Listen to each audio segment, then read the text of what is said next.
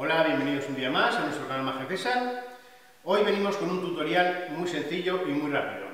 Es sobre el cierre de la olla Star.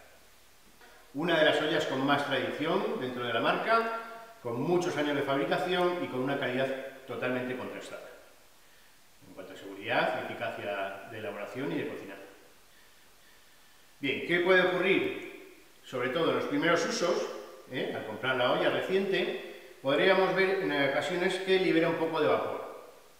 Esto es debido sencillamente a que, en los, repito, como en los primeros usos, la junta de silicona tiene que asentar bien y luego eh, el cono masusillo o, o la rosca que tiene interiormente, el pomo, tiene un punto de grasa que se tiene que distribuir bien con unas cuantas aperturas y cierres de la olla.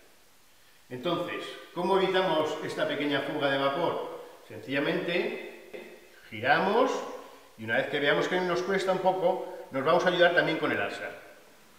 ¿Eh?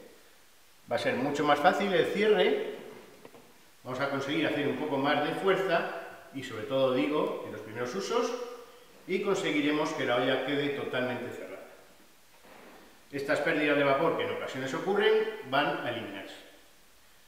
Bien, pues espero que os haya servido el tema de hoy, la ayuda, y nos vamos a ver enseguida con más vídeos, recetas, consejos o tutoriales. Muchas gracias y hasta pronto.